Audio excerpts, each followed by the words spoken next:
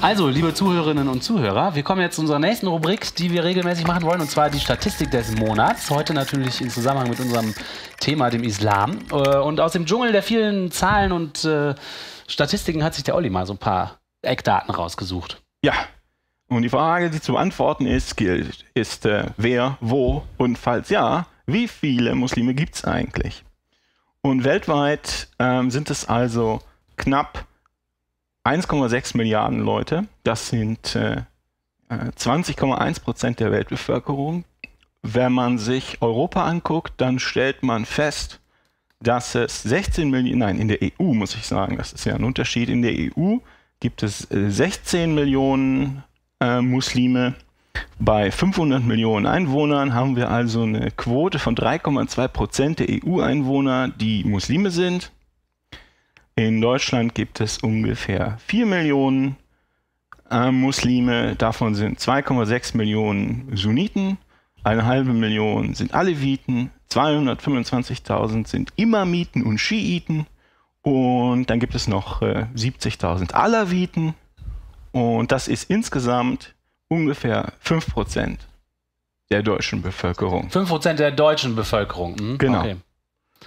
Ähm, was nicht ganz klar wird, ist, wie das erfasst wird, weil die Muslime natürlich keine Großkirchen oder analoge Institutionen zu den Großkirchen haben, wo sie offiziell beitreten könnten oder auch nicht, so dass ich davon ausgehe, dass die Statistiker sich da irgendwas ausgedacht haben und im schlimmsten Fall äh, auch äh, atheistische türkischstämmige Leute als Muslime erfasst haben. Das weiß ich aber nicht. Äh, vielleicht haben sie auch nur einen bestimmten Prozentsatz dieser Leute erfasst. Ich weiß nicht genau, wie sie es gemacht haben. Ja, das ist natürlich schwierig, das stimmt. Also man, 5% äh, der Bevölkerung in Deutschland, 3% der Bevölkerung der EU und 20% der Weltbevölkerung sind Muslime. Wenn die alle unseren Podcast hören, dann würde sich unser Publikum bestimmt verdoppeln. ja, mindestens. Und ich habe gelesen, dass eine deutsche Besonderheit äh, bei, den bei der Zusammensetzung der Muslime in Deutschland ist, dass die große Einwanderungswelle aus der Türkei hier war und dass deswegen viele ähm, innerhalb der Muslime viele Glaubensrichtungen sozusagen überrepräsentiert sind, weil halt die, ähm, die Einwanderer aus der Türkei aus bestimmten Gebieten kamen, in denen genau diese islamischen Richtungen vorherrschen. So dass man also in Deutschland die Zusammensetzung innerhalb der Muslime nicht äh, anteilsmäßig gleich hat wie die Zusammensetzung der Muslime weltweit. Ja, das wird sich jetzt ändern im, im, im letzten Jahr 2015, als also diese Flüchtlingswelle kam und äh, also ein Teil der Leute wird sicher bleiben irgendwie in irgendeiner Form. Und da denke ich, dass, dass, dass sich das ein bisschen ändern wird, dass da mehr Leute aus dem Maghreb dazu kommen, mehr Leute aus, wie soll man denn sagen, im Mittleren Osten oder Zentralasien oder sowas. Ja, das wird interessant. Ne? Bei einer Gesamtzahl von 4 Millionen Muslimen und der letzten Zahl von einer Million Flüchtlinge. Ja, das heißt, das dann die, ausmacht, ne? der Prozentsatz, der muslimische Anteil der Bevölkerung wird von 5% auf 6,5% steigen, wenn man all die Flüchtlinge dazu rechnet und davon ausging, dass sie blieben. Dass sie alle bleiben, ja. Also was, wenn man sich, was, was mich daran interessiert hat äh, oder ich interessant fand, war, dass wenn man sich also die Aussagen einiger Leute anguckt, dann müsste man halt den Eindruck haben, dass es also fast schon die Mehrheit der Leute in Deutschland sein, Muslime so bedroht, wie das christliche Abendland ist.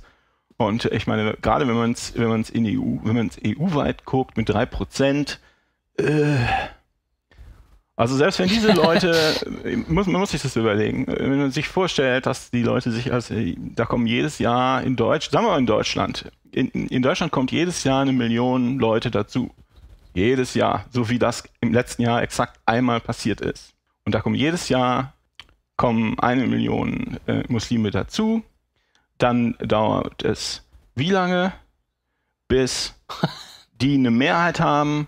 Dann dauert es 80, ungefähr 2095, bis sich da, äh, bis quasi die, äh, die islamischen Länder leergewandert sind und es würde sich eine, eine, eine Mehrheit finden hier, um, um irgendwas durchzusetzen. Ich, und das ist eine völlig absurde Idee, dass jedes Jahr so viele dazu kommen. Ich, ich, ich, verstehe diese Panikmache nicht. Ich, das ist, ist natürlich so, dass es Pro Idee. Probleme gibt. Natürlich gibt es Probleme. ähm, es gibt immer Probleme, wo Leute mit verschiedenem Hintergrund zusammenkommen, zumindest potenzielle Probleme, aber ich glaube, da wird sehr viel übertrieben. Das glaube ich auch und äh, also das ist so ähnlich wie man sagt, äh, die Deutschland wird immer undeutscher, also selbst wenn das so wäre, wenn Deutschland ein Einwanderungsland ist, was immer weniger deutsch wird, selbst wenn das so wäre, was wäre daran schlimm? Also ich verstehe das auch immer nicht. Das Zusammenlegen muss man so oder, so oder so regeln, egal wo die Leute herkommen und so weiter. Das wird ja nicht einfacher dadurch, wenn man niemanden aufnimmt, ne? finde ich. Aber es ist schon interessant, dass das so empfunden wird, ne? dass es eben so viele Muslime gibt, was ja wahrscheinlich was mit den Medien zu tun hat. Oder auch damit, dass man sie vielleicht im Straßenbild erkennt oder also die Frage ist wirklich, wo das und dass es einem vielleicht auch sehr fremdartig erscheint und Angst macht, der Islam. Ja. Es gibt, es gibt Umfragen, das sehe ich immer mal wieder. Ich habe das jetzt nicht, habe das jetzt nicht gesammelt. Ähm, da werden die Leute gefragt, wie, durch, quer durch, durch Europa oder durch alle Länder, äh, die man so, die findet. Wie, was meinen Sie denn, wie viel Prozent der Bevölkerung in Ihrem Land X sind denn Muslime? Und die, die werden immer, sind immer weit ums, ums X-fache, ähm, sind die Schätzungen über den eigentlichen Anteil. Ja. Die Leute werden als bedrohlich empfunden. Die Leute werden insbesondere, die werden als bedrohlich empfunden für die eigene Religion, für die eigene Kultur.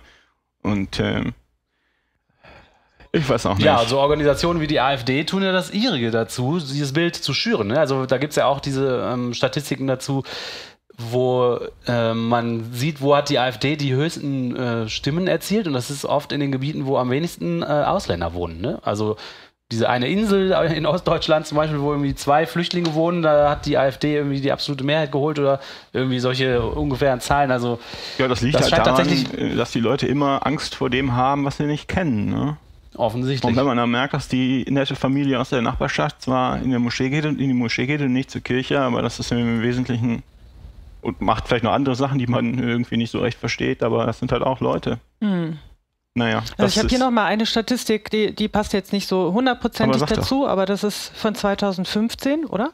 2016 sogar. Äh, von Statista. Die Frage war, es war ist nur im Rahmen einer Umfrage erhoben worden, sind Sie wie das Bündnis Pegida der Ansicht, dass Deutschland zunehmend islamisiert wird? Sogar in Verbindung eben mit dieser Pegida, die ja doch eher radikale Ansichten vertritt. Und da haben dann mit 34 Prozent oder 34 Prozent der Leute haben mit Ja zumindest hier geantwortet. Was ja schon eine ganze Menge ist. Ja, 57 ist mit Nein, da bleibt noch ein Rest, der sich scheinbar nicht äußern wollte. Ja. 57 Prozent mit Nein, ah ja, okay, gerade eine Mehrheit. sind nicht so viele, ne, die Nein gesagt haben. Mhm. Etwas über die Hälfte. Ja, ja, das sind so Befindlichkeiten, ne? Und ich glaube auch, dass diese Präsenz und die Art, wie darüber berichtet wird, starken Einfluss darauf nimmt, wie diese Befindlichkeit sich als eigenständiges Phänomen verbreitet und von den Fakten abgelöst existiert. Wobei man auch sagen muss, äh, andererseits, und das wird bestimmt wieder üble Proteste geben, aber es ist ja auch nicht alles friedevoller Eierkuchen. Ne? Wenn, wenn, Leute über, in, einem Bürger, in einem Bürgerkriegsland aufgewachsen sind und die kommen, die kommen dann als Flüchtlinge in ein anderes Land und die können vielleicht, was weiß ich, äh, die Landessprache nicht und haben auch nie eine andere Sprache gelernt und die sind jetzt Mitte 40, dann äh, dann ist es halt sehr schwer, sich zu integrieren und das wird dann vielleicht auch nicht gut gelingen. Ne? Und äh, da gibt es natürlich Probleme. Da wird es da wird's Probleme geben. Ich denke auch, dass es keine leichte das, Aufgabe das ist. Das ist ganz normal und ich denke, man muss die rational angehen, die Probleme. Man muss sich als Gesellschaft hinsetzen und überlegen, wie machen wir das am besten, was wollen wir, was für Ziele haben wir und was wie immer, was für Möglichkeiten gibt es, äh, diese Ziele mit möglichst geringen Kosten, also nicht nur monetäre Kosten, sondern alles, was dazu gehört, zu erreichen laut schreien von allen möglichen Seiten hilft nicht.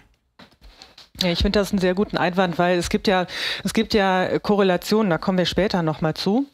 Äh, es gibt halt so Korrelationen zwischen zum Beispiel, bin ich ein Muslim, bin ich ein Einwanderer, bin ich arm, äh, muss ich mich hier irgendwie, habe ich Probleme, mich zu integrieren und werde zum Beispiel kriminell. Das sind dann nicht unbedingt die Muslime, sondern das sind halt dann eben bestimmte Personen, die hier eben nicht zurechtkommen. Da gibt es aber ein Problem, da gibt es ja Statistiken ja. zu, ne? dass es da eben, äh, dass das ein Problem ist, das darf man halt auch dann nicht so bestreiten. Ne? Oder dass es eben auch viele Anschläge gibt, die äh, auch Menschenleben kosten. Klar, wir haben eben gesehen, das gibt, geht auch in die andere Richtung. Richtung. aber klar gibt es da auch Dinge, die aus, dieser, aus diesen Gesellschaften, oder wir werden es ja nachher noch ein bisschen genauer ausdröseln, die sich jedenfalls oder von den, von den Islamisten ausgehen, die ja durchaus den Leuten auch an, Angst machen können. Dass es übertrieben ist, von einer Islamisierung zu sprechen, ist ja nochmal ein anderer Punkt. Klar. Aber es gibt da eben schon ja immer, also dann nur zu sagen, ja, die sind ja genau wie wir, sind sie ja irgendwie auch, aber man muss die Probleme schon auch benennen und auch angehen. Genau, also, und dann kommen auch noch Probleme dazu, die oft vergessen werden unter dieser ganzen religiösen Debatte. Zum Beispiel, wenn man sagt, eine Million Leute sind unter krassester Lebensgefahr aus Gebieten hier hingekommen, wo dass diese Leute dann zum Beispiel einfach ganz banale psychische Probleme haben, ja, Kriegstraumata richtig. und so weiter, kommt ja noch dazu. Ja, und dass, genau. wenn man in der Fremde ist, äh, sich mit Angsterscheinungen quält, dass man dann auf irgendwelche Sachen zurückgreift, die, die man zu Hause gar nicht vielleicht so sehr verfolgt hat, die man jetzt aber in der Fremde auf einmal wieder aufnimmt. Also das sind ja alles Aspekte, die werden in dieser Debatte, die wie die heute geführt wird, auch im Fernsehen total vernachlässigt. Ne? Ja. Also dass da so eine ganz banale menschliche Ebene auch reinspielt, wo es einfach mega schwierig ist, mit so Leuten umzugehen und, und mit denen vernünftig zu reden und, und an rationalen und so weiter und so weiter. Also ja. Man muss sehr gut differenzieren, finde ich auch nochmal einen guten Punkt. Man muss es eigentlich mhm. alles auf oder man muss es aufdröseln und da differenzieren und eigentlich äh, oder auf jeden Fall jede Art der Pauschalisierung hier äh, fallen lassen. Und das ist ja eins der Probleme, eben diese Pauschalisierung, sondern man muss halt eben differenziert hinschauen, was unheimlich kompliziert ist. Und leider ist das gesellschaftliche Klima auch gar nicht so gerade. Ne? Aber ich denke auch, wenn man nicht so genau hinguckt, wird man nur zu Lösungen äh, finden, die das Problem nicht lösen oder die Probleme nicht lösen und deswegen verschwendetes Geld sind im Nachhinein, wenn man es mal so und Verschwendete Zeit vor allem. Verschwendete Zeit Lebenszeit und, ja. für sehr viele Leute. Ja, genau. Mhm. Also interessant fand ich ja wirklich, dass die, dass die Medien die Zeit auf jeden Fall, ich meine, die Süddeutsche war auch dabei, dass die ja zurückgerudert sind und gesagt haben, wir haben zu positiv und zu euphorisch berichtet über die Flüchtlingsströme und wirklich gesagt haben, man hätte da etwas mh, hm, ähnlich wie bei Trump, ne? Da, aber das ist ja jetzt auch nochmal ein anderes Thema. Also man hätte da nochmal genauer hingucken müssen und auch etwas differenzierter äh, berichten müssen, um eben Parteien wie der AfD oder Bewegungen wie der Pegida nicht dieses Thema halt zu überlassen. Hm, also. Ach, das ist interessant, das habe ich nicht mitgekriegt. Das ist ja mhm. interessant. Mhm. Aber Leute, rutschen ja, wir ja. vom Islam weg in Richtung Flüchtlinge? das kann gut sein. Hängt alles zusammen. Finde ich alles ist schwierig zu trennen. Aber wir kommen zurück zum Islam. Ist das schließlich eine Islam-Sonderfolge? Islam-Sonderfolge. Islam-Sonderfolge.